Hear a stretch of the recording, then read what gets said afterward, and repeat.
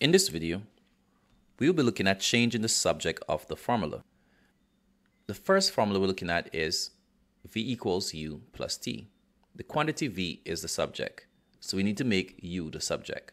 In order for us to do that, we will need to isolate the quantity U. To isolate U, we need to remove the T that's connected to it by addition. And so what we'll do, we will subtract T from both sides of the equation. So on this side over here, we will subtract T. And on this side over here, that is the left of the equal sign, we'll also subtract T.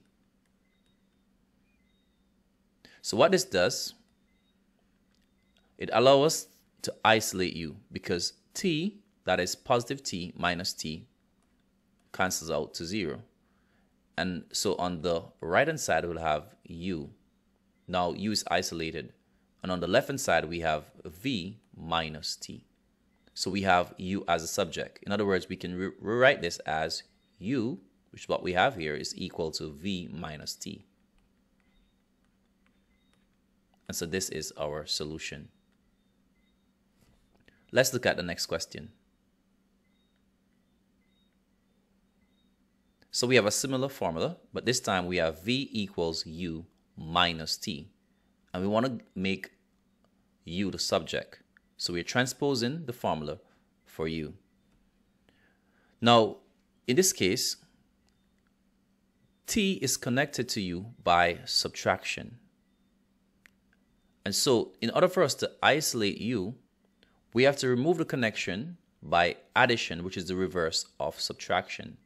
And so what we will do is to add t to both sides. By adding t to minus t, we'll be able to isolate u. But what we do to one side, we will also need to do to the next. So we'll add t to the left-hand side of the equation. And so minus t cancels out plus t. And so what we'll have on the right-hand side is u. And on the left-hand side of the equation, we'll have v plus t. And so my formula is u equals v plus t. And this is the correct answer.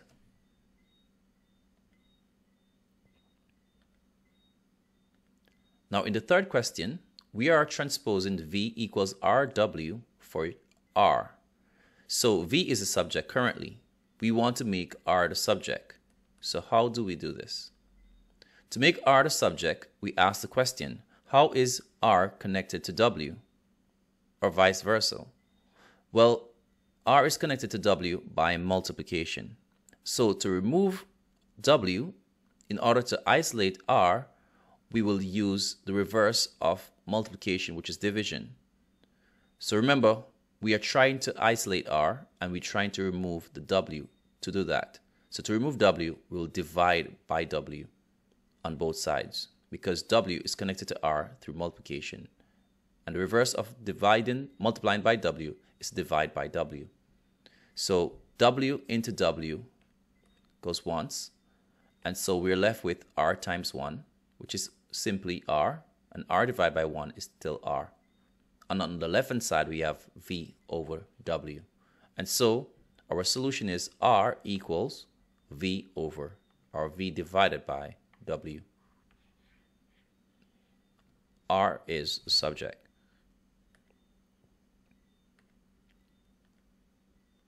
The fourth question is to transpose P equals, and let me just differentiate between these. Okay, so what I'll do, I'll put a, a dash over the P that we have here.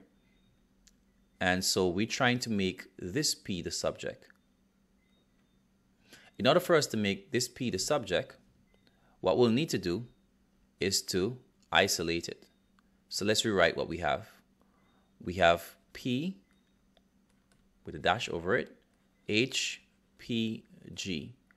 How do we make this P the subject? Well, we'll look at how H and G are connected to P. Both H and G are connected to P by multiplication. Remember, HPG expanded is H times P times G. And now remember, the order of, of multiplication does not matter because we get the same answer should we rearrange these. And of course, we can rearrange these to have P at the beginning or at the end. So for instance, we can have this as HGP because it's still correct by to say H times G times P as it is to say H times P times G. Okay, so in other words, I could write this as the P with a hat with a dash over it and put HG in front and put the P at the end. Now, in order for us to get rid of the HG, again, remember HG is connected to P by multiplication. And so get, we get rid of the HG by division. And we do that to both sides.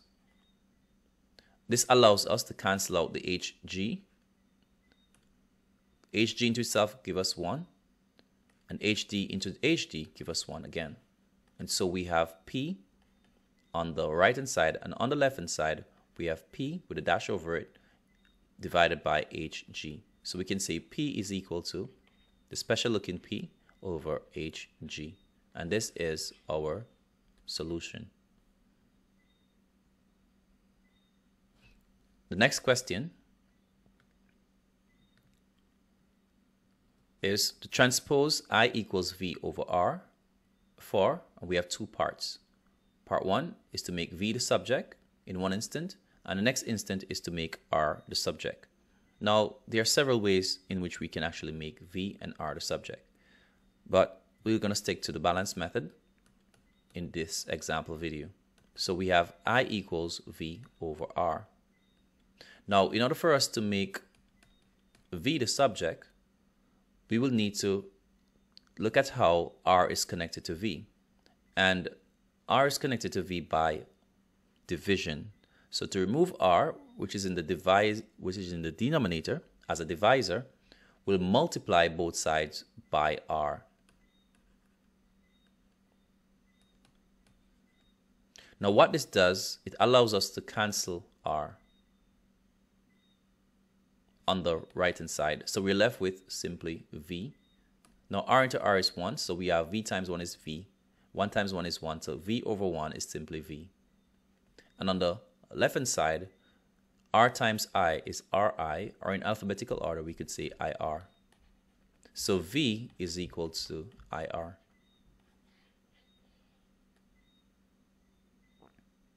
Now, in order for us to make R the subject, let's rewrite the given formula or equation and we want to make R the subject. Now to make R the subject, we can decide to get rid of the R first from the right hand side and so we'll have it on the left hand side. Remember when we transpose to make V the subject, we end up with what? That V is equal to IR. So notice that to find V, we can simply transpose the R to the left hand side and from division it becomes multiplication. So we have I times R. That's the transposing method. Next, what I'm going to do is to isolate the R because we want to make R the subject as requested. Now, I is connected to R by multiplication. So to isolate R, we remove I by division. We do that to both sides.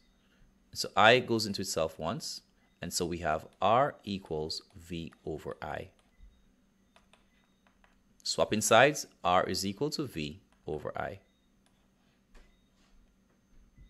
Now there's another way we could actually do this. We could say I equals V over R. We could put the I over 1, and there's something called cross multiplication once we have two fractions equal. And so we can multiply i by r and then multiply v by 1. So we call this cross multiplication, having an equal sign between two fractions. And so i multiplies r to give us ir, and v times 1 will give us v. Now this allows us to go right ahead and find R. In other words, make R the subject.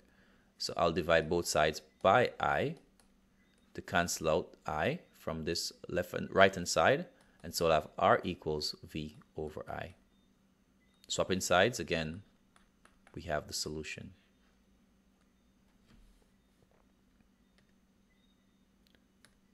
Let's look at the next problem. We want to transpose f equals v divided by 2 pi r. For the first part, we're looking to make v the subject. So let's write the formula. Now again, in order for us to make v the subject, we want to get rid of the denominator. And to do that, we look at how the denominator is connected to v, of course, by division. And so in order for us to remove it, we will use multiplication. Now consider that 2 pi r is in the denominator position, so it's really 1 over 2 pi r. That's the value of 2 pi r in the denominator with a 1 on top of it. Of course, I'm talking about the value of 2 pi r. So if we want to get rid of the 2 pi r, we multiply by the reciprocal. So we reciprocate this fraction and put the 2 pi r on top and put the 1 beneath. So multiplying a fraction by its reciprocal, meaning we upturn to get the reciprocal, multiplying by the reciprocal will actually give us 1. Because 2 pi r into itself goes once, into itself here goes once. So this is the idea that I'm talking about. We're really multiplying, when we multiply this side of the equation or formula by 2 pi r, what we're really doing is to multiply 2 pi r by the reciprocal. So 1 over 2 pi r times its reciprocal will allow us to cancel. And we do the same thing to the other side. Since we multiply this side by 2 pi r, we'll multiply this side as well by 2 pi r. And so this gives us V equals 2 pi r f. Swapping sides, we have the solution. Now, of course, we could have done this, put f over 1 and cross multiply. And so we have f times 2 pi r and v times 1. Since what we're trying to find is v, then we'll say v times 1, put it that right away on the left hand side. So v times 1 is v. And then we'll multiply the f by 2 pi r, which is 2 pi r f. It's always best to keep the, the value 2 or any number at the beginning. So we have 2 pi r f. That's v. Cross multiplication, quite a neat trick. Okay, so now we're trying to make R the subject. So let's rewrite the formula again. F equals V over 2 pi R. Now, of course, this was an exam question and we already make V the subject. It's easier to just simply use this to, and then we could actually find R quickly. But let's start from the beginning again. So what I'll do again, I'm going to use a cross multiplication formula. And I'm going to say F times 2 pi R is 2 pi rf. And 1 times v is simply v, cross multiplying because we have two fractions equal, equal sign. We have this fraction which is f over 1 and this fraction which is v over 2 pi r. Now, this allows us to have no denominators. And since I'm trying to find r, in other words, make r the subject, I'm going to look at how 2 pi and f are connected to R. They're all connected by multiplication because this is simply one quantity, as in one term. When you multiply this out, you get one value. So I can remove 2 pi and f by, I can move 2 pi and f by division, 2 pi f. And this allows us to cancel 2 with 2, pi with pi, and f with f. All goes once. And so we have r remaining but what I do to one side, I do to the other side as well. I'm going to divide by 2 pi f. We did not divide by r because we want to have the r remaining as we have here. So r equals v over 2 pi f. And this is our solution.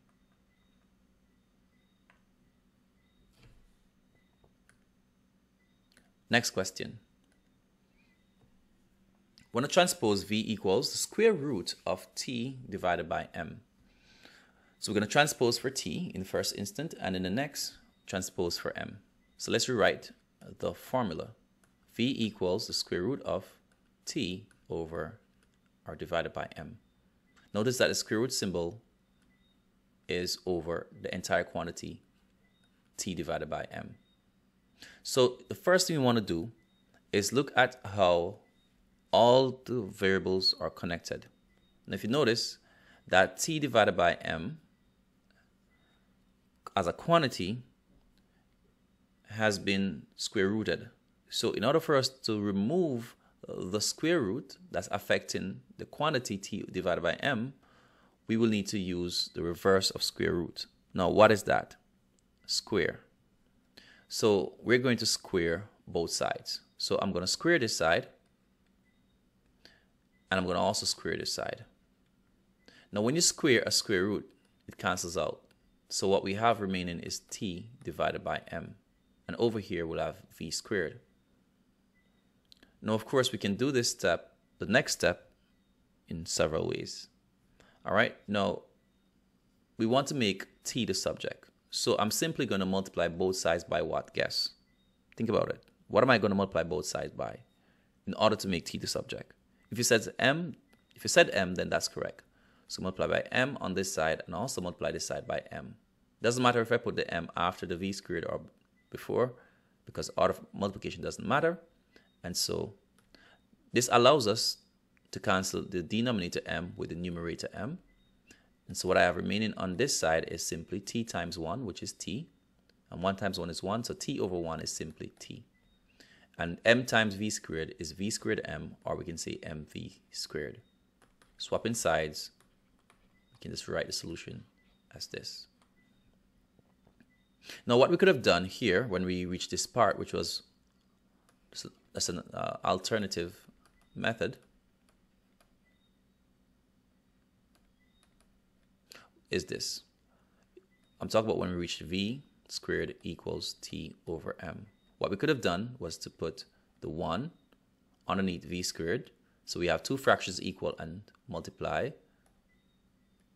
by um, numerator by denominator. So because we're trying to make t the subject, I'll just go with t first by saying t times 1 is t, put the equal sign, and v squared times m is m v squared. And right away we find the solution. Now let's look at part 2, which is to make m the subject. So I'm going to write the formula again, t over m. And again, before we can actually get to t over m, we need to get rid of the square root. And so we're going to square both sides, which is reverse of square root. And square cancels square root. And so we have v squared equals t over m. Now, of course, I think this method is much faster. So this is what I'm going to do. I'm going to put v squared over 1. So we have two fractions equal. And that allows me to multiply numerator by denominator. In other words, cross multiply. Now, since I'm trying to find, I'm trying to make m the subject, I'm going to go with m times v squared, which is m v squared, and then 1 times t, which is simply t. Now we have no denominators here, which is great because we're now able to go right ahead and make m the subject. Now we look at how v squared is connected to m. v squared is connected to m by multiplication because this is actually m times v squared. So to remove v squared, we use division. Now, you recognize that by now you should see that or recognize that once you have a product in the numerator, as in two quantities being multiplied, you can cancel out one of the numerators with the denominators as long as they have a common factor. So in this case, v squared and v squared, the highest common factor is v squared. And we're actually multiplying m by v squared. So long as we have multiplication the numerator, as I said before, and we're dividing, we're able to cancel out so v squared cancel out v squared. And so we have m equals, and we leave this as t over v squared because these are unlike terms. We cannot simplify. Um, there's no high, there's no common factor besides one. So we have m equals t over v squared. Okay, so now let's look at the next question. Okay, so we have two parts here. We have to evaluate um, L once we you know we're given the values of G and T. So that's part B by the way. So in part A, what we want to do is to first of all make L the subject. But as we can see, we have what as a subject? We have T as a subject. So let me just do this right over here. So let's rewrite the formula. T equals 2 pi and then multiplied by the square root of L over G. Now notice that the square root of L over G is being multiplied by what? 2 pi, because this is actually 2 pi multiplied by, right? The way this is written, it can be a little confusing. It seems like 2 pi is actually the, the type of root, but no, this is actually 2 pi multiplied by um, square root of L over G. So to, to remove the 2 pi, we're going to need to do what? 2 pi is actually multiplying this quantity, the square root of L over G. So to get rid of it, we use division. So we're going to divide over here by 2 pi and divide over here as well by 2 pi. Then what this does, 2 pi cancels 2 pi. And so we have t over 2 pi equals the square root of what? L over G. Okay, so what do we do next? Can we cross multiply? No. Why is that? Because we have this side being square rooted. So we need to remove the square root because notice that this quantity, L over G, is being square rooted. So we need to get rid of that square root because the square root is affecting every other term. So to get rid of the square root, we're going to use square. So we're going to square both sides. Now we can't just put a square on t alone just like that. We have to square both sides. So what this does, it allows us to cancel off the square root with square. And so we have t over 2 pi all squared equals L over G. Now remember, the goal is to do what? Make L the subject. Okay, so what are we going to do? To make L the subject, let's, we probably can simplify this or break out the brackets. So what we can say, well, look at this, t over 2 pi to be squared is actually t over 2 pi times t over 2 pi. Remember when you're squaring what you do? You multiply the quantity by itself. And so we know t times t is actually what? t squared and 2 pi times 2 pi is actually 4, since 2, 2 is 4, and pi times pi is pi squared. Is there faster we could have done this? Well, we could distribute the square. So we could say t to be squared divided by, and 2 pi to be squared would be 4 pi squared, since it's 2 pi times 2 pi. Okay, now we want to make L the subject. So what are we going to do? Well, we could cross multiply, that's for one. Or we could say, well, we're going to transpose the g from the denominator to the numerator. And so we can simply put the g where t is on top of the numerator. And that's an easy way of doing it. But you might not be able to compute that in your mind right now, so let's do it the longer way. Let's look consider the fact that we have two fractions equal and we can cross multiply. So since what I want to find is L I'm going to go with L first. So L times 4 pi squared is 4 pi squared L. What equal sign? And G times T squared is G T squared. Now, keep our eyes focused on the left hand side. We're trying to make L the subject. So we ask the question, how is 4 pi squared connected to L? Of course, by multiplication. 4 pi squared is multiplying L. So to get rid of 4 pi squared, we'll need to divide by 4 pi squared. I remember what was said before is that because we are multiplying on in the numerator, it allows us to cancel one of the factors in the numerator with that in the denominator, as long as they have a common factor. So the common factor we have is the highest one, which is 4 pi squared, right? Which can be divided into itself. So 4 pi squared itself goes once. 4 pi squared into itself goes once, and we're left with L. And we cannot simplify the right-hand side, so we leave it as g t squared over 4 pi squared. Now, someone may argue that we could have just left this and put the g next to it outside, but I think this is quite fine as a solution. Okay, now let's look at the next part. we want to evaluate. What are we trying to evaluate? We want to evaluate G. Well, we want to evaluate L actually. So my bad. We want to evaluate L. So evaluating L given the value of G, T, and pi. Okay. So since we want to evaluate L, we already have L as the subject over here. So we're going to just take that. L equals G um, T squared all over 4 pi squared. So in order for us to evaluate, what we need to do is to replace variables with values. Okay, our quant, our we can say constant with values too, right? Because pi is really a constant, and the constant they want us to take pi as is 22 over 7. So let's replace the g. g is actually 10, and t is to be taken as the same as r, which is 22 over 7. So we're going to put 22 over 7 in bracket, close bracket, and then we're going to put a square outside of the bracket. So this is g, which is 10, and t in the bracket, 22 over 7 squared. Then to put 4. Then pi, we, take, we have to take pi as what? 22 over 7 as well, close bracket, and squared. All right. Not sure why we're taking t as same as pi, but that's what we're given and we work with it, right? And then we're going to simplify this. So let's do that. Well, obviously, since we have 22, 7, 22 over 7 to be squared, notice that we're multiplying that quantity, 10, by, by what? 22 over 7 to be squared. We're also multiplying 4.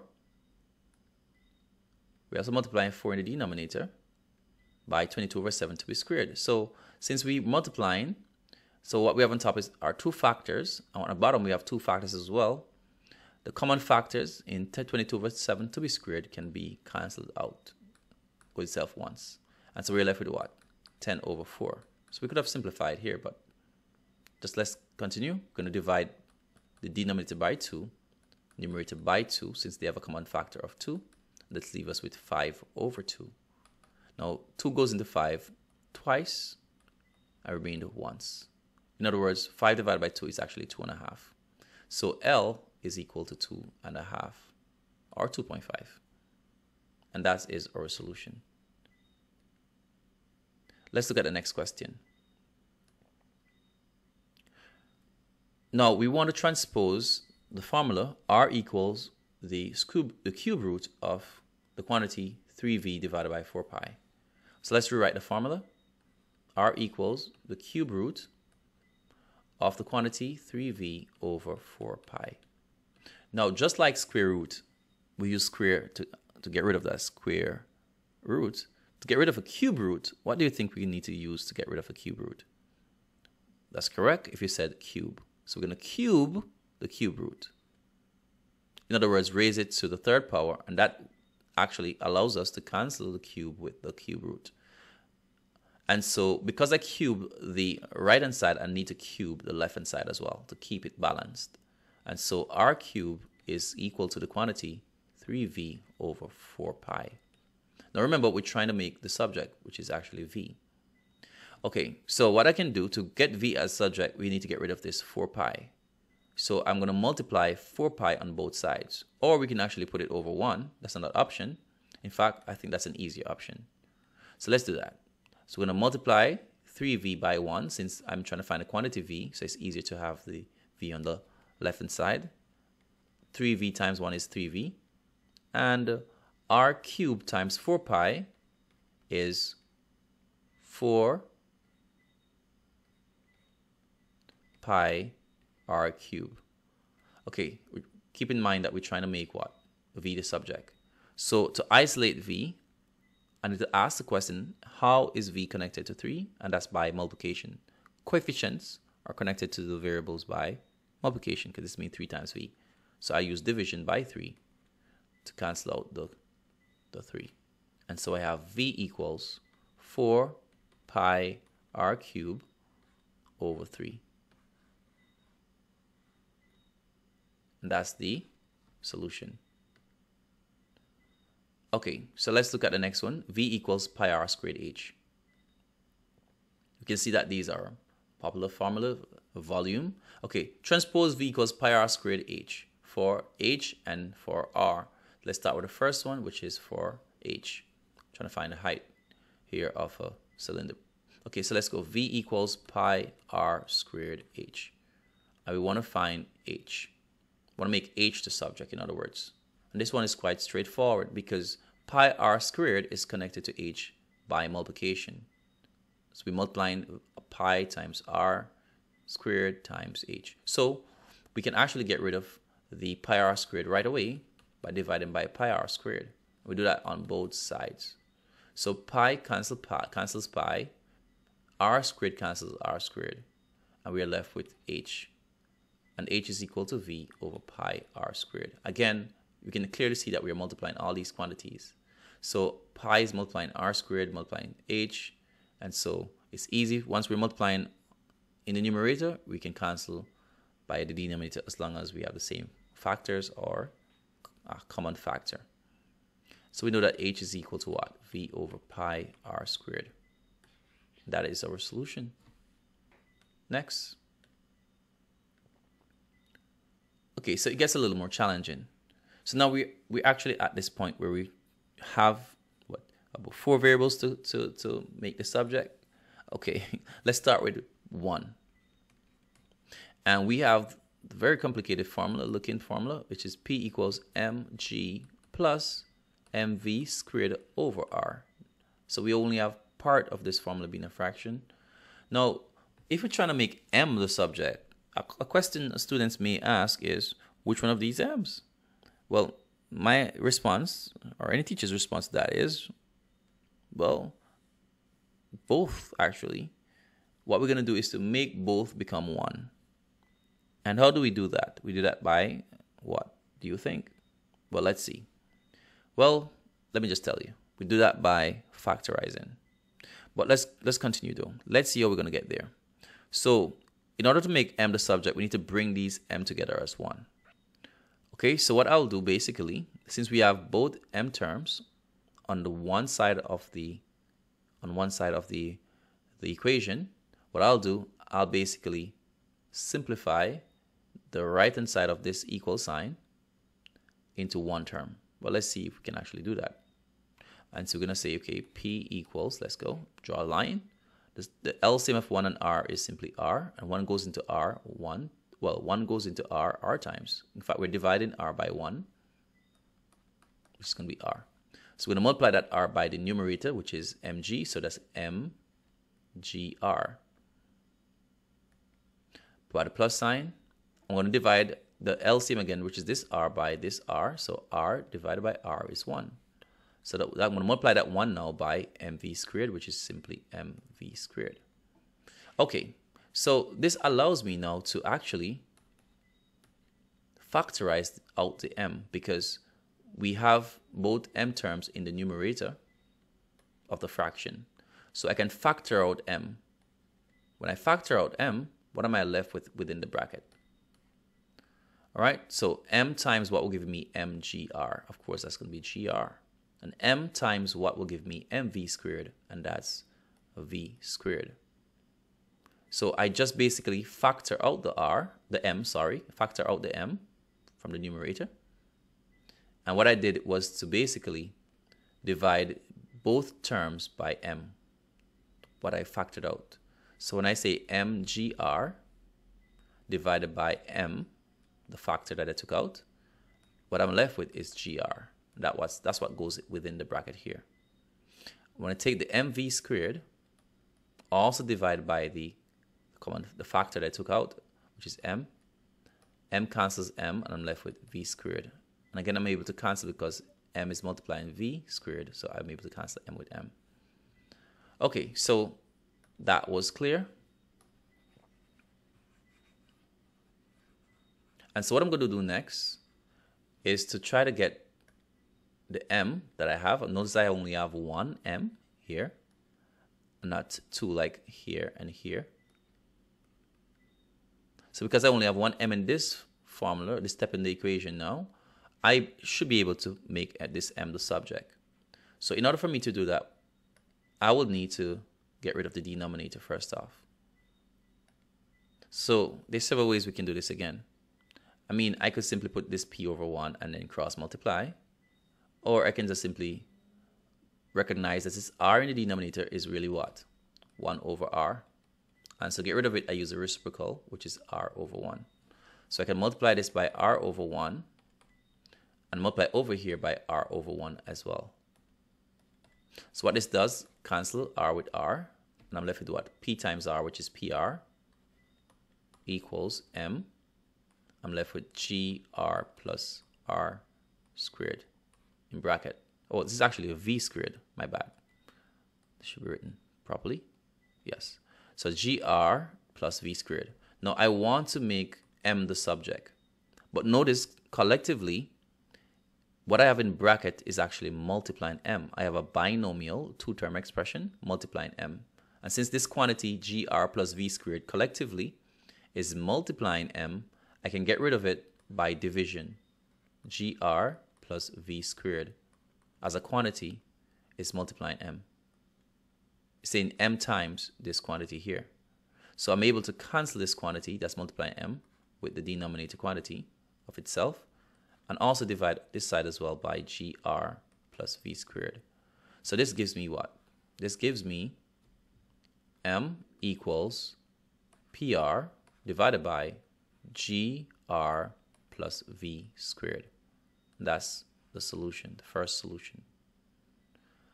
Okay, now here's a question. How do we make r the subject? How do we make r the subject? Okay, so uh, what I'm going to do, since we lack in space here, I'm going to write the formula for m. m equals pr over gr plus v squared. I have m as a subject there. I'm still going to create some space by um, erasing what I have here. Okay, so let's make R the subject. All right, and now to make R the subject, what I can do again, we can actually, um, let's see how I can bring can do this. Probably there's several ways I can do it. Perhaps I can bring this mg over to the other side and figure how I can actually make R the subject that way. Okay, so let's do that. Now, if I consider if I make this mg into a fraction, I put it over 1, and simplifying, I might end up with an r in the numerator as well as denominator. So I don't want to have more than one r's. So I'm going to actually do this. I'm going to actually get rid of this mg. Transpose it to the other side, it'll be p minus mg equals mv squared over r. But rather than using the transposing method, I'm going to use the balance method to be consistent. Okay, so let's do that. Now I can say that, well, since I'm trying to find r, so I'm going to consider the, the entire term, which is a fraction, which is mv squared over r. First off, let's focus on that for the time being, that this quantity here is connected to mg by addition. So I can get rid of mg by subtraction, and I'll do that to both sides. So I'll cancel out mg, and I'll have that p minus mg is equal to mv squared over r. Okay, so now what do I do next? Well, I can make this entire term um, expression over here into one fraction. And what I can do, I can actually cross multiply. No, so I'm going to consider this as a numerator quantity and cross multiply. So what this gives me is that since I'm trying to find r, right? I'm trying to make r the subject. So I'm going to say r times p minus mg. I'm going to leave it as that p minus mg. I'm not going to expand it or anything. And then 1 times mv squared, which is mv squared. So I'm going to leave it in this form, uh, product form. In other words, r multiplying this quantity p minus mg. Now, since p minus mg is connected to r by a multiplication, I can get rid of the p minus g by division. So this quantity that's multiplying r in the numerator can cancel out with the denominator since you have a factor in the numerator uh, of p minus g mg. And I'm going to do the same thing to the other side, divide this side as well by p minus mg. And so this leaves me with what exactly? It leaves me with r equals, as you can see here, r, since p minus mg cancels out minus mg. So r equals what? mv squared over p minus mg. And that is my solution. Okay, so now we need to make v the subject. Okay, so this is, let me just write this other formula. r equals mv squared over p minus mg.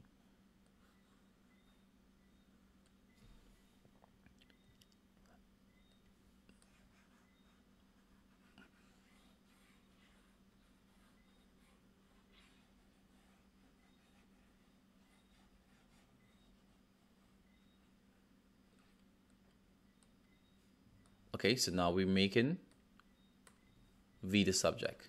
Notice that v is part of this fraction here. Again, perhaps I could make one single fraction out of this, but I think I'm going to go ahead and actually get rid of the mg. Okay, so that's for reminder, let me just use the balance method. Um, so I'm going to subtract mv, mg here on both sides, like as I did in the previous um, question, simply because v is part of this fraction, just like r is part of this. So this cancels out. I'm left with p minus mg equals mv squared all over r. Now the reason I was able to get rid of mg because mg is actually added to the entire remaining expression, right? mg is added to mv squared over r, which is a fraction. So whatever is affecting everything else, we can actually remove first. And that's something we want to also bear in mind. Okay, so now we have mv squared over r. So keep, bear in mind what we're trying to do. We're trying to get this v by itself. Okay, so if you look at it this way, that, um, well, we could actually think about transposing, but I'm not using that method. So I'm going to actually do is to make p minus mg a fraction by putting it over 1. And since what I'm trying to find is in the numerator, which is mv squared, where the v is there, I'm going to actually multiply 1 by mv squared, so I can actually get the v on the left-hand side. So cross multiply, cross multiply. Again, I can only cross multiply because I have an equal sign. Now I'm going to multiply r by p minus mg. r times p minus mg. In fact, I'm going to leave it like that. I'm not going to multiply it out. Now what I'm trying to find again is what? Yeah, I'm trying to make v the subject. So I look at how v is connected to the other variable, which is by multiplication. In fact, v squared is connected to m by multiplication, not just v, but v squared. So I'm going to try to get v squared first off, isolated, and then I can remove the square. So v squared is connected to m by a multiplication. So I can get rid of this m by division. And I do that to both sides. Divide both sides by m. So since I'm actually multiplying in the numerator, m times v squared, then this m can cancel m in the denominator, and I'm left with v squared is equal to, in the numerator, r times p minus mg over m. Now to get rid of square, what do we do? Well, do you recall that to get rid of a square root, we use square, well, to get rid of a square, we use square root. So I'm going to square root this side, and I'm going to square root this side as well to keep it balanced. But the purpose of square root in this side is so that the square root will cancel out the square. I'm left with v, and so v is equal to the square root of r times p minus mg over m.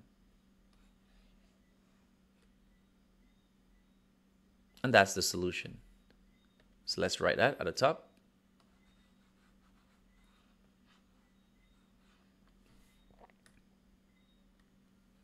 So V equals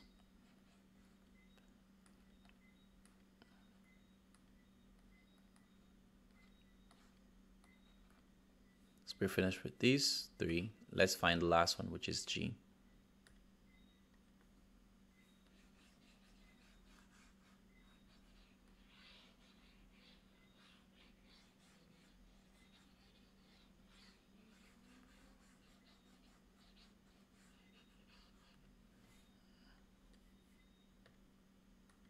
Okay, so let's write the equation, which is a formula actually. We want to make G the subject.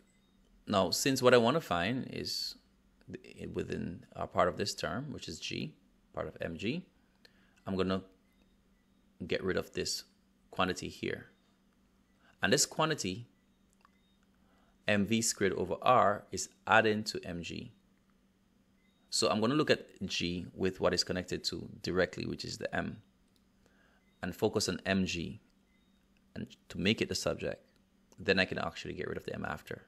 So m is really now the coefficient of g in that context. So we want to get rid of this mv squared over r. So to get rid of mv squared over r, we recognize it's connected to mg by addition. And so to get rid of it, we use what? Subtraction, correct.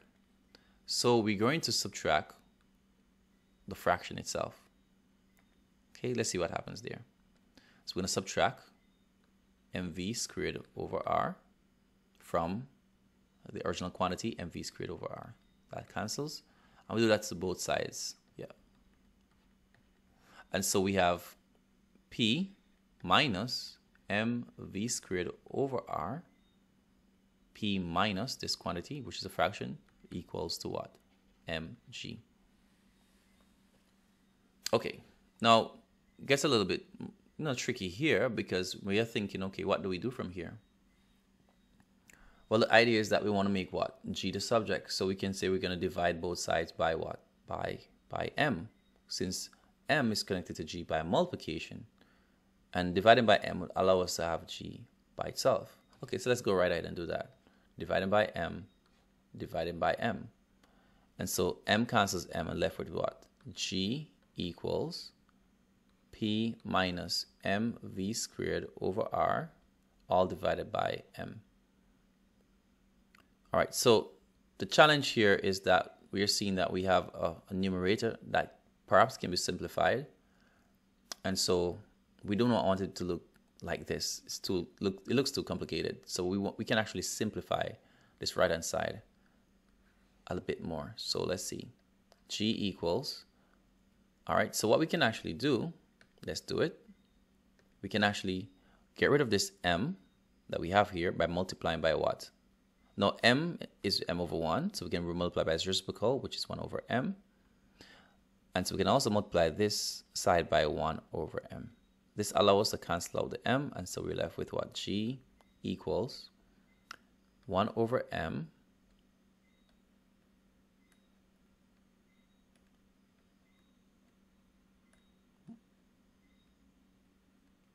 multiply by p minus mv squared over r. And we can distribute this. So let's distribute. So g equals, now 1 over m times p is going to be p over m minus um, 1 over m times this fraction. Okay, now let, how I got the m, p over m? Well, m over 1 over m times p 1 times p is p, and m times 1 is m. So you can see how we got this. Let's do this the next part using distributive law. Because we have multiple, we have subtraction in the bracket. As long as you have subtraction or addition in the bracket, you can apply the distributive property. So now 1 over m multiplies, multiplies what? The negative mv squared over r. Now because we're multiplying, we're able to cancel out what? Denominator with numerator. And so we're left with negative r squared over, oh, it's actually v, negative v squared over r. So it's going to be what? Going to be a negative, well, let's have a negative here already, which is just what we're looking at here, right? So we've minus v squared over r. All right, and then of course we can perhaps um, simplify this further by um, Find the LCM of um, m and r, which is just simply m times r. Since we do not know what the values of those quantities are. Now, m into mr is what? Of course, if we have mr divided by m, we're going to get r. This will cancel this. So that r times p is pr minus, and we divide the same mr, which is LCM again, by this denominator r. We're left with m and so m times v squared is m v squared. Okay, and so this is our solution. Looks better than how it was presented over here.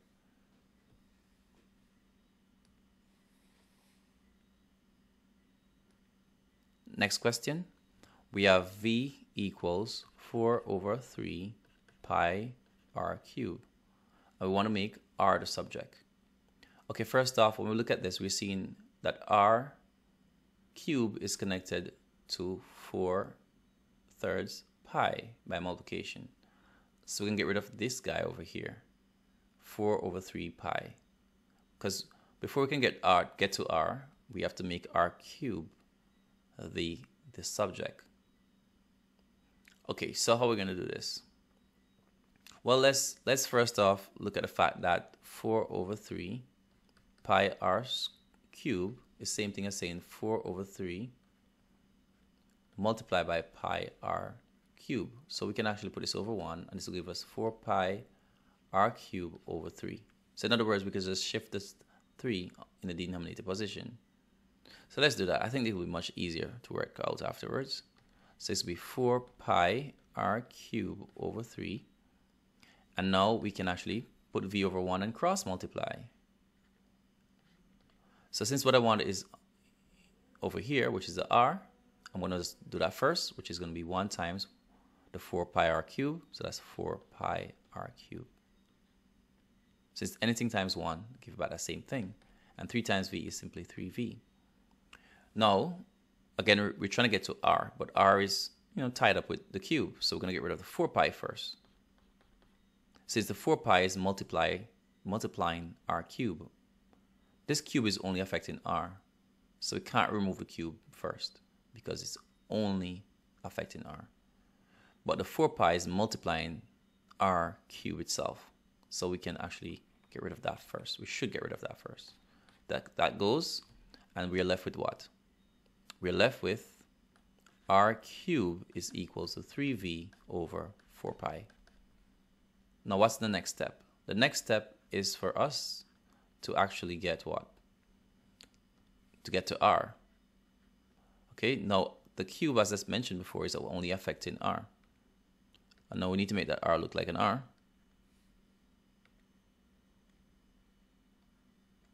Okay, so to get rid of this cube, what we're to do? Okay, of course, I'm sure you heard, get rid of cube by cube rooting. And so the cube root will cancel cube. Can't use a square root, of course not. A square root will only cancel square. So if we had, for, for instance, if we have r squared, we'll use square root. We usually have a 2 there, but we don't usually show it. So let's go back to this. So a cube root get rid of a cube, and so that's cancelled, and we have r equals. By the way, I should actually cube both sides. So I have to make sure the 3 is right by the radical symbol. So we have r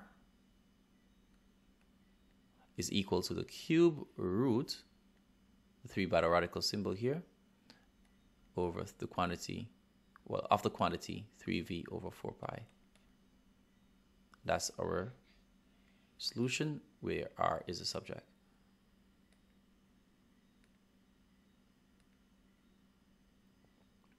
Now we have two types of R, we have capital R and common R. In the first instant, we want to make the capital R the subject. And so we're going to have 3R over capital R minus common R. So notice that the capital R we have here trying to make the subject is in two places. So what do we do? Well, we want to get them together and factor out the r to have it only in one place. And so we can do that by simply um, getting rid of this denominator. We, it's always good to get rid of the denominators. We can do that by multiplying both sides of the equation by r minus r, capital R minus common r. Okay, so again, another way to do this is simply making two fractions. So we have v over 1 equals the, the fraction 3r divided by um, common, capital R minus common R. So now here's what I'm going to do. Cross multiplying these guys, we have 3R times 1 is really 3R.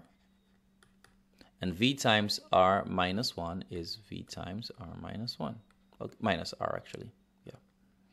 So now, how do we get these two capital R's together? well, this one is in brackets, so we need to expand the brackets using the distributive property. Since we have a minus inside a bracket, whether it's a minus or plus, we can expand using distributive property. So this V times R is going to be RV. And V times common R is V is common RV, or we can say VR. But the idea is focus is really on this on this um, capital R here. Now, if I take this, if I take this um this RV over this side, what will happen is that we'll have a negative term over here just by itself. But you know, we can do better by taking this R term over this side and taking this one over this side. Yeah? Okay, that's not the balance method, that's the transposing method. So you know what? Let's be consistent again and use the um, balance method. Okay, so the idea I'm going to use is to, I'm going to subtract, um, I'm going to get rid of this minus VR from this side by adding VR to both sides. And so this cancels out. And so what I have here now is what? Is going to be 3R plus V, common letter R equals R, R capital R V. So now I need to remove this 3R from this side. It's connected to VR by addition because it's a positive sign in front. So we're saying it's really VR plus 3R. So I'm going to get rid of this 3R by subtraction. So we have VR equals, that's common letter R, RV, capital R, minus 3R. So now we can actually factor out the R. Let's factor out the R.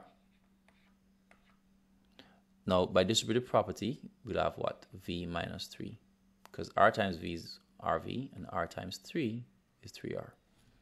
So now that we have R, we have one quantity in capital R in the formula, we can now get or isolate this capital R. Notice that this capital R is multiplying by the binomial v minus 3.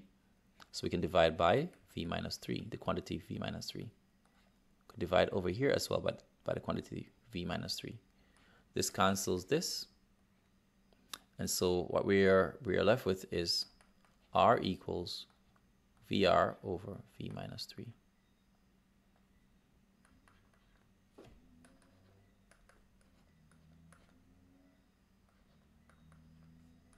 This is our solution. Okay, so what about if we were trying to find the common letter R? Hmm. Well, that's interesting. But notice, we'll do the same approach. We'll do the same approach as we actually went through. So you can just go over this video and notice how we worked right up to this point here. So I'm going to just start from that point with part two due to time. I'm going to take this portion here so like you start over working, this is what I did earlier up to this point. So let's write that. V, common letter R equals capital R V minus 3R. I notice that we actually, well, mm, yeah, well, let's do this. What I'm going to do, I'm going to divide by V on both sides. Because what this allows me to do, because I notice that this V is multiplying the common R, and common R is in only one place in the equation. This cancels out this. So we have r equals, and we can actually factor out this r in the numerator. We usually do that when we making the subject of the formula.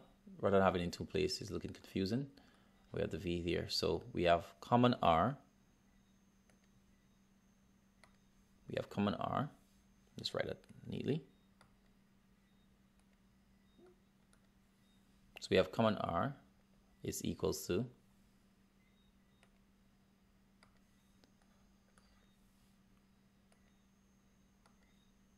So we have common R, which is equal to this solution here.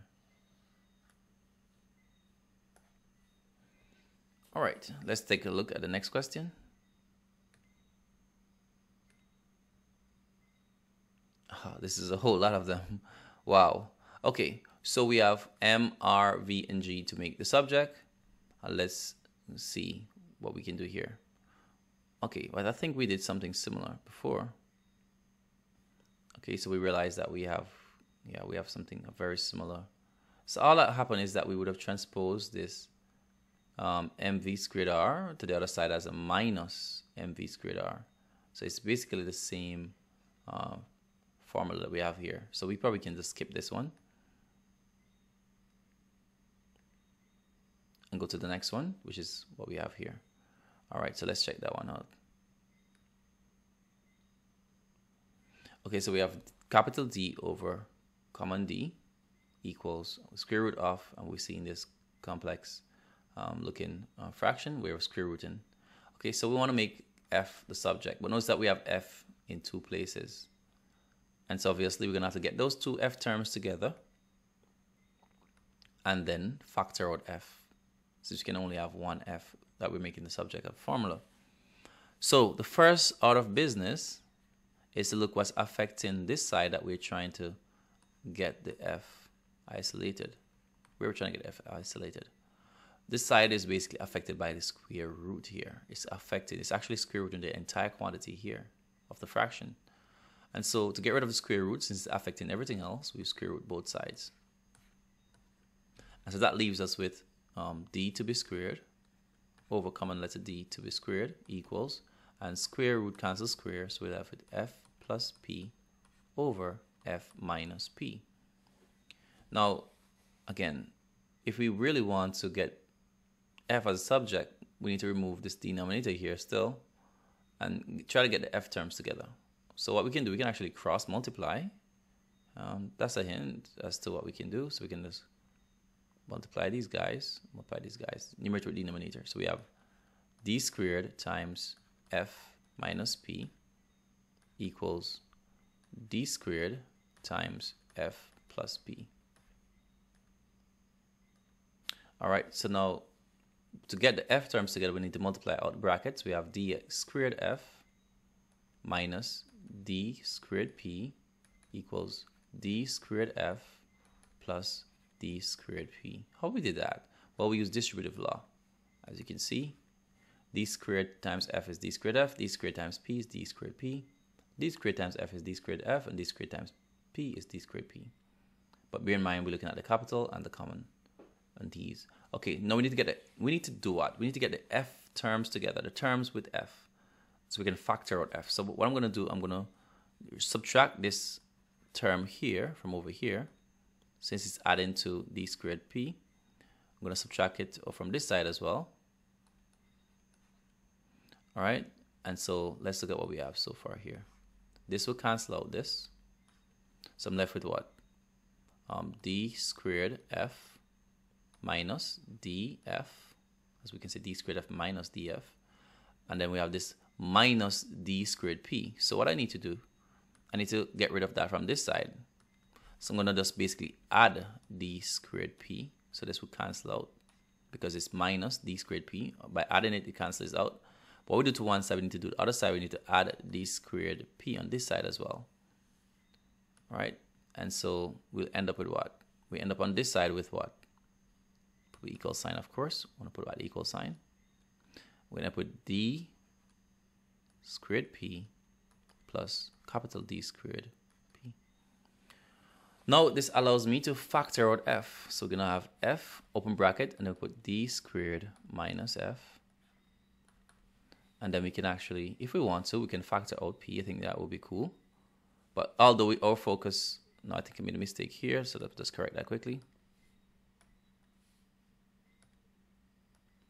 So we factor out f. By factoring f, we're going to have a d here.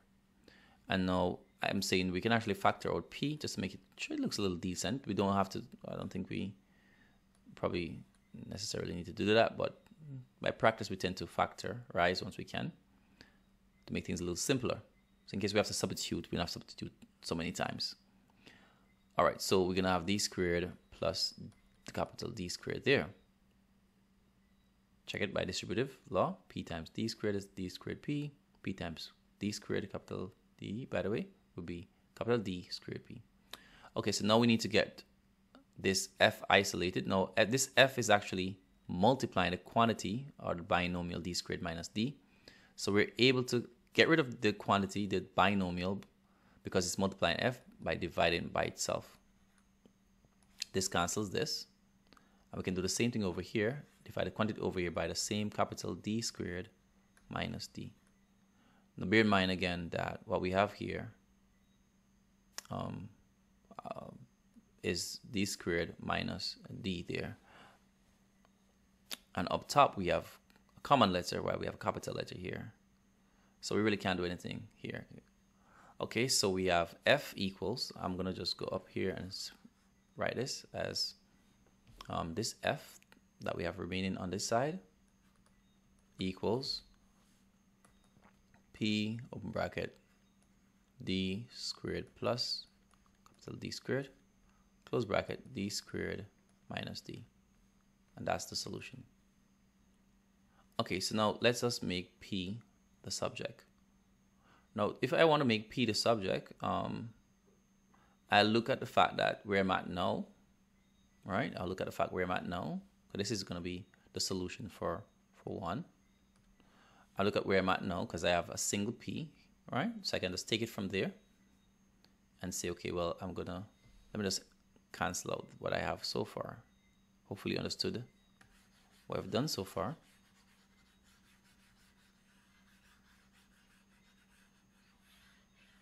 Right, just making some room to simplify.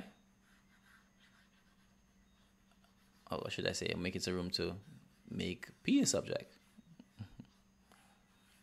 All right, so bear with me.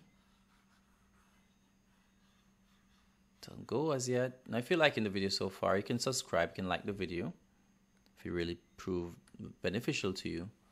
Um, so at least other persons could see the video quicker um, once you would have liked and shared the video. But I also just like and subscribe as well. Okay, so this is where we are so far.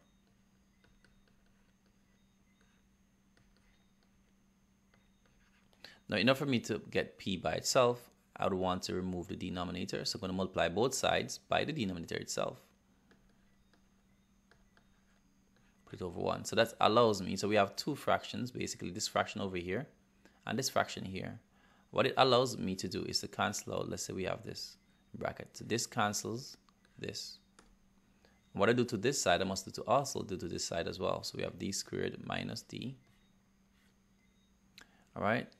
And so now we have, I'm going to just write the p first. So p open bracket d squared plus capital D squared equals, let's write what we have over here, d squared minus d in bracket f.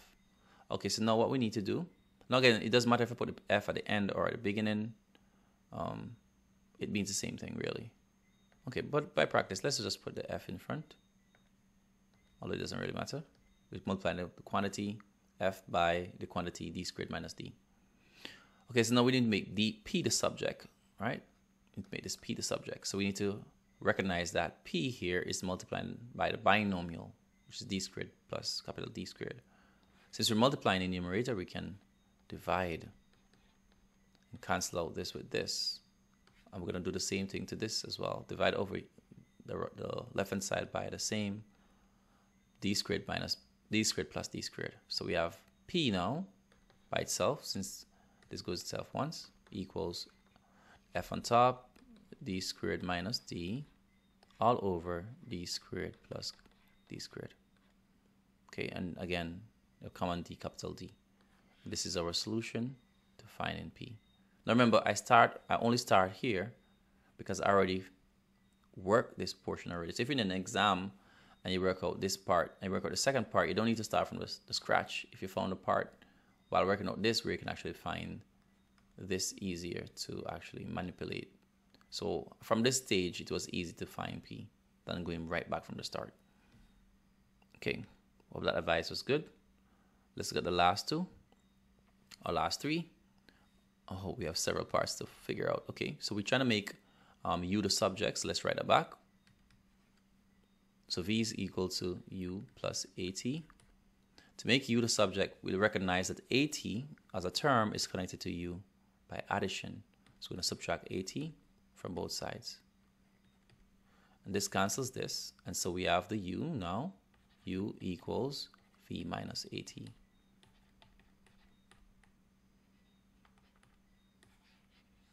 Part one. Part two.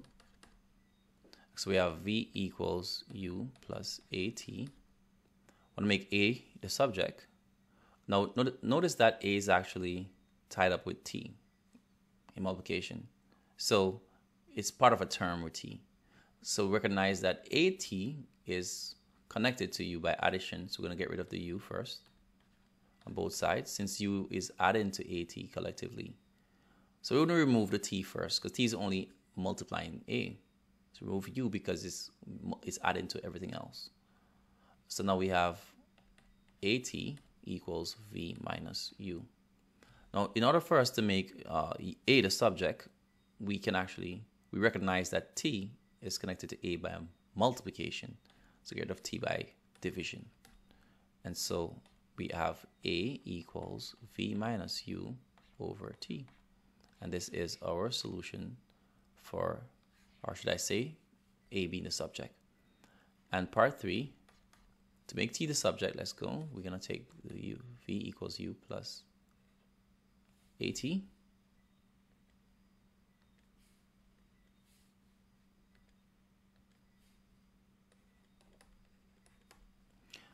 Well, we're trying to make t the subject, but recognize t is uh, multiplying a or a is multiplying t. So t is connected to a, and t is only affecting a by multiplication.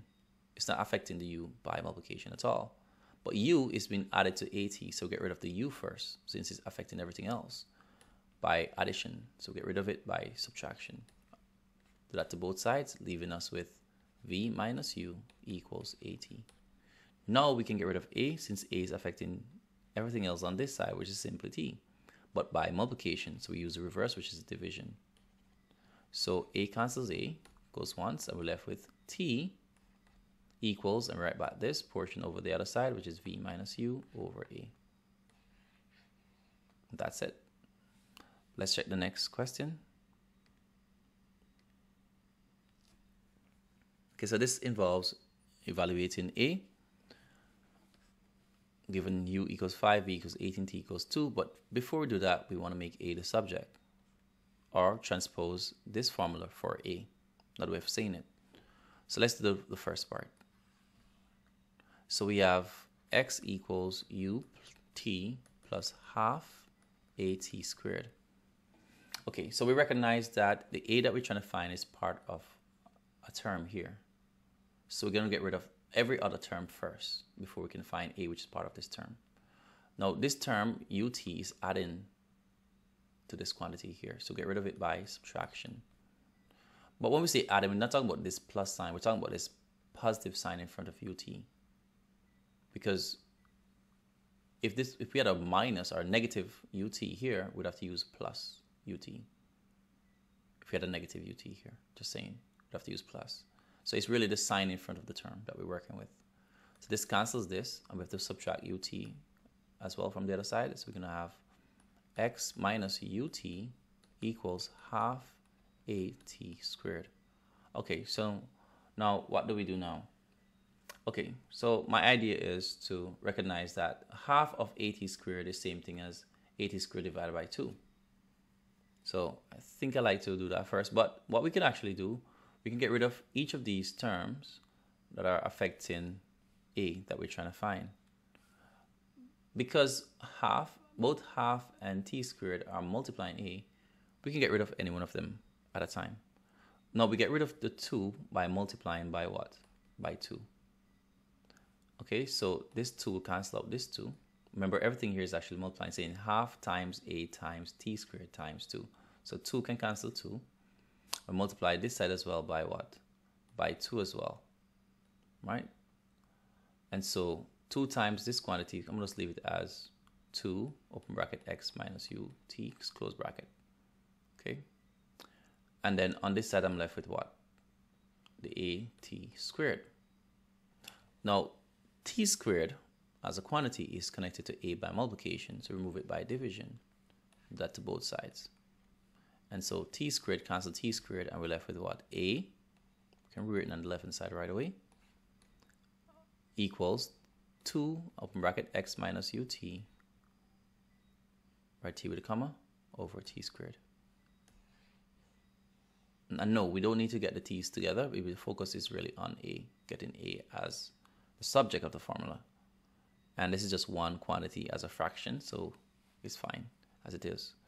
So we know what the formula for a is, and now we can evaluate it. Although we could have evaluated just like this by putting the values for x, u, t, and make, you know, transpose until we get a. But we can just simply work with the formula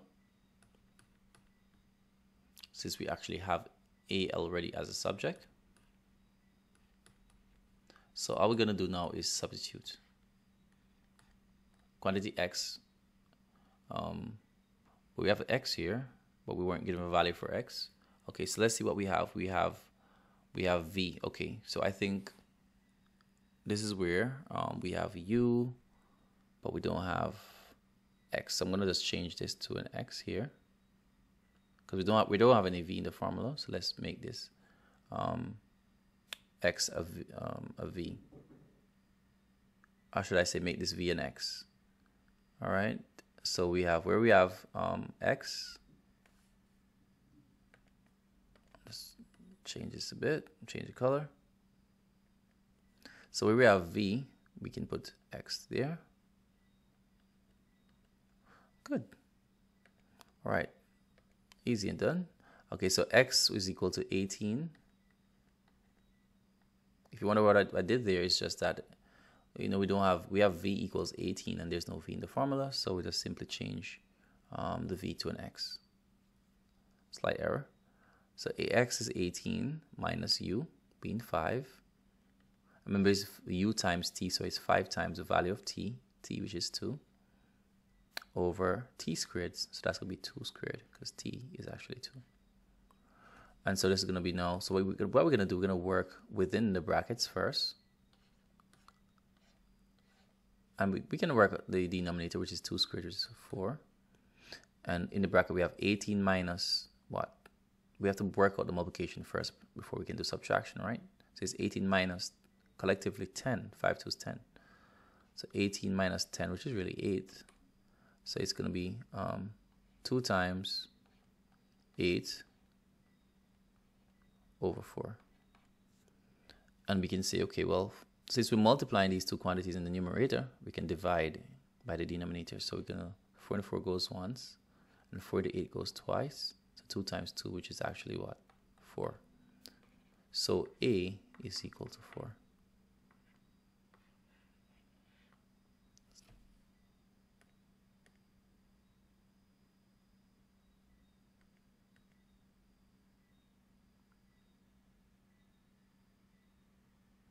Again, this should have been x.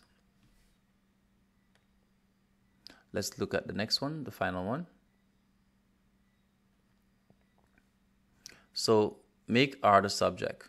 Now this is quite straightforward. Why is that? Because R is connected to pi, you know, well, R squared is connected to pi by multiplication. And R right now is has a square on it.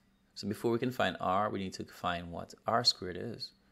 So to get rid of r, to get rid of pi, we use division because pi is connected r squared by multiplication. As you can see, we have what in the, in the, in the numerator, multiplication. So we can get rid of one of the factors by division. I'm going to get rid of the pi since we want to make r the subject. We divide over here by pi as well, so that's going to be a over pi. Now to get rid of the square, because we want to find, want to isolate r, we need to use square root. Do that to both sides. Square root cancels square. And so we're left with what? r equals the square root of a over pi. So r is equal to what? a over pi. So r is equals to square root of a being, so we need to substitute now because we're asked to evaluate r. Since we have r subject already, we can just replace the a and the pi. So it's going to be 153.86. And a pi we have there is 3.14. And so we say r is equal to square root of, and let's divide now, 153 0.86 divided by 3.14. That gives us 49. And so r is equal to the square root of 49 is actually 7. All right, so assuming that's the length of a radius, of course, this is the formula for what?